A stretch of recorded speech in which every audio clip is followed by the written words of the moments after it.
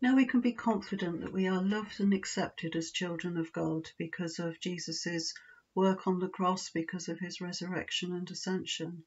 But we still need to be aware of our everyday failings and to acknowledge them to ourselves and then to say sorry to God for these everyday failings.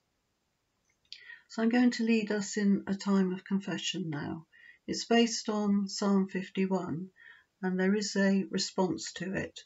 So when I say, O God, in your unfailing love, the response is, Have mercy on us.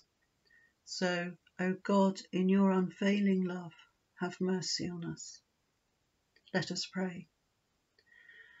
The sacrifices of God are a broken spirit a broken and contrite heart, O God, you will not despise. O God, in your unfailing love, have mercy on us. We know our transgressions, and our sin is ever before us. Against you only have we sinned, and done what is evil in your sight. O God, in your unfailing love, have mercy on us.